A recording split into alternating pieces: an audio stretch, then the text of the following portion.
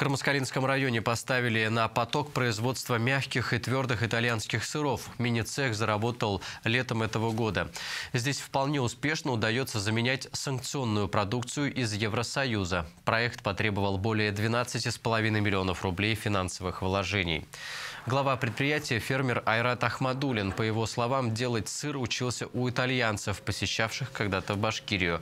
Оборудование импортного производства, как и закваска на растительной основе. Сырье местное. С поставщиком молока сельский, э, сельский бизнесмен заключил договор, в котором прописаны многие детали, включая даже рацион кормления животных. На данный момент мини-сыроварня мощностью до 300 литров молока выпускает 13 э, сортов сыров, в том числе рикотту, качоту и гауду. Это 800 килограммов в месяц.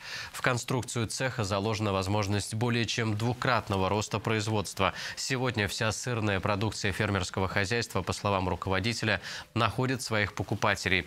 Большая часть произведенного сыра сделана на заказ. Стоимость килограмма сыра в зависимости от сорта от 400 до 1600 рублей, что сопоставимо с ценами в крупных супермаркетах.